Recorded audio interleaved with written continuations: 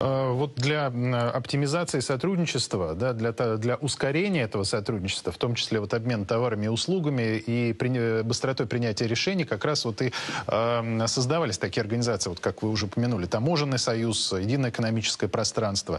Э, вот э, Республики Абхазия и у Республики Беларусь, насколько можно ожидать, что вот э, отношения дойдут до того, что как раз будут приняты документы, которые также э, будут призваны ускорить и упростить эти процедуры?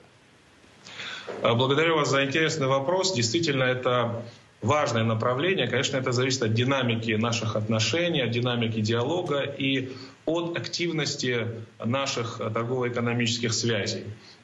На мой взгляд, интеграционное объединение работает очень эффективно, и э, та э, колоссальная трансформация, которая в мире происходит, безусловно, приведет, на наш взгляд, к формированию нового эффекта, нового качества этих интеграционных объединений. Мы видим, что Российская Федерация реализует интеграционное объединение, основываясь на принципе суверенного равенства государств в отличие от тех же Соединенных Штатов Америки, которые навязывают свою диктаторскую волю так называемым своим партнерам.